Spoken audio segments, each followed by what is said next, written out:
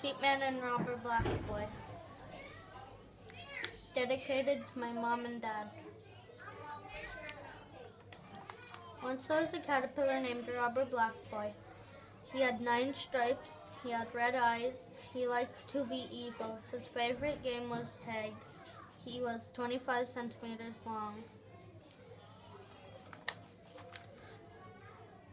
There was also Sheepman. He liked to hit people. He was 19 centimeters long. He had black eyes. His favorite food was fish.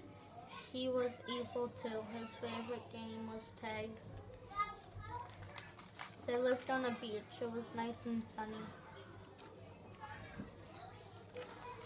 Then a bird came down, dun dun dun, and took Sheepman. He almost got eaten.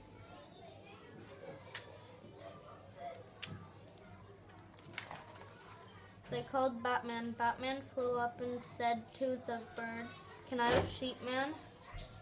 And the bird said yes. Batman, Sheepman, and Robber Blackboy celebrated with root beer. Moral, always be careful of birds. This was written by Reid. He has a brother. His name is Camden. Reid is seven years old. He is smart.